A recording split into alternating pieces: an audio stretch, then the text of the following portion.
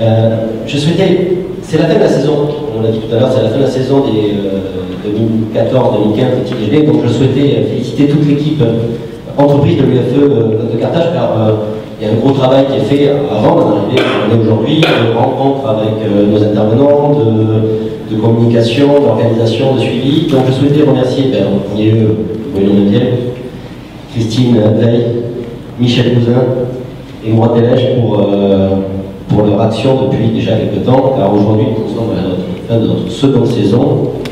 Et euh, c'est pour, euh, pour cela, cela a permis aussi que ces événements deviennent une référence en, Tunisie. C'est des événements qui, tous les jours, tous les mois, rassemblent de plus en plus de personnes et avec des intervenants de plus en plus, de, plus, en plus en, termes de qualité, en termes de présentation et de retour qui sont quand même extraordinaires pour nous, car nous sommes juste une association, sommes une association à but de...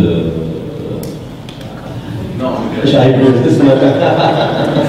Donc une association avec égalité, accueil ça, des, des, Français en, Tunisie, mais aussi plus largement. C'est-à-dire qu'aujourd'hui, nos petits déjeuners sont là pour, pour rassembler, animer une communauté d'entreprises et d'entrepreneurs qui ont des liens directs ou indirects avec la France.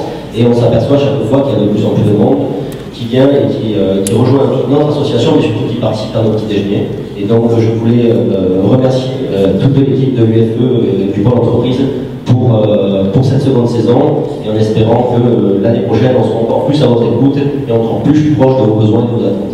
Merci encore à vous tous, personnes présentes aujourd'hui et à, notre équipe. Merci beaucoup.